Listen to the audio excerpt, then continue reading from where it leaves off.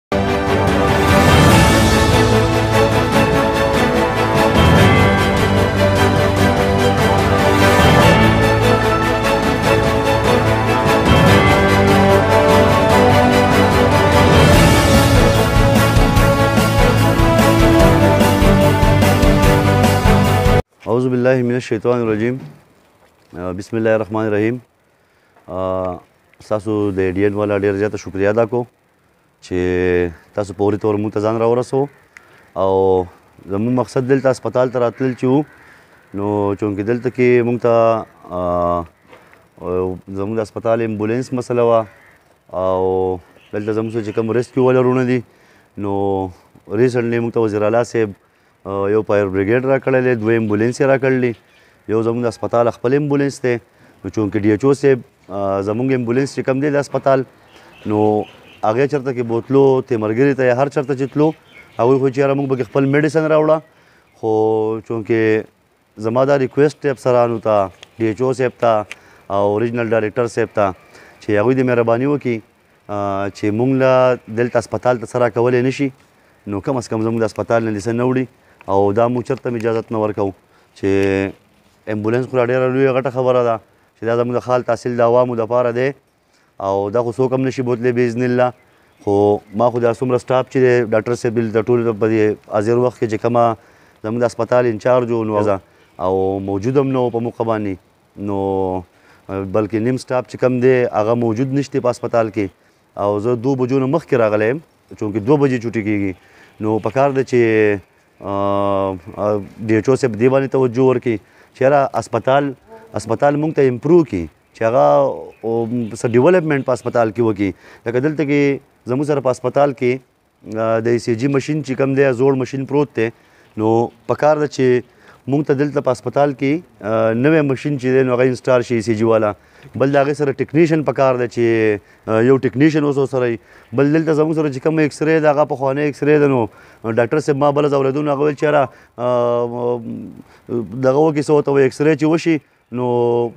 خړی ښکاریم نه نو په کار چې دلته کې ډیجیټل ایکس ری ولګي بل دا چې تیر شپو کې زه راغلی او ما خو دا ډي ایچ او صاحب سره ډیسکس کړم دی خو چونکې په هغوی به غالبا بوج هم ډېر زیات وي هغوی بوله ډېر لیفټ نه وي ورکړی نو دا ده چې د بجلۍ خو دلته کې اړوسر نه بلب نشتی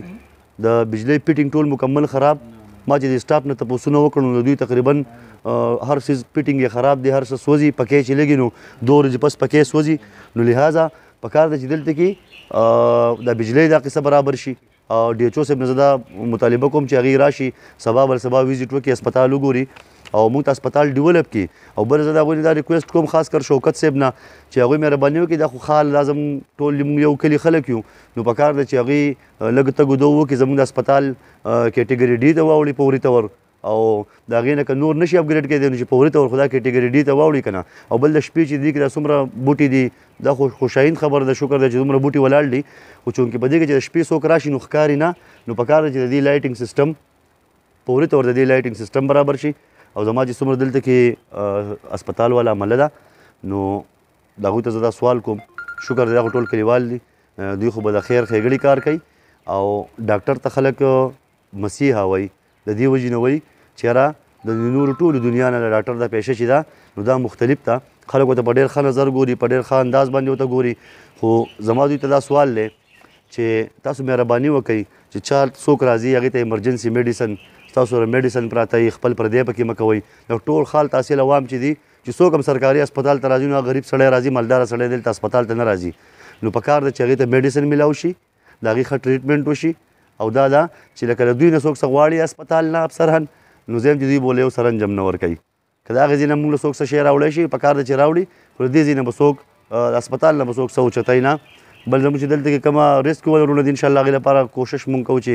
تحصیل دفتر د پاره مو کوشش کوو نو دوی به مو سره هلته ایډجسټ کیږي الان سات چې دوی دلته کې نو ټول به دغه شان په کوارډینیشن باندې او د علاقې د خېګړې د پاره د ترقۍ د پاره به ټول موږ په شریکه باندې ګامونه اوچتو دا به نه چې را ار یو سړی به پردن پردن کار کوي ټول څومره کارم چې کېږي دا په ټیم ورک باندې کېږي او ما اوس دې ملګرو ته وویل چې خلک ډېر زیات تنګ شوی عوام تنګ شوی هر سړی سهولت غواړي اسانتیا غواړي نو مهرباني به کوو چې خلکو ته به اسانتیا ورکو یو ځل بیا ستاسو د میډیا ول ملګرو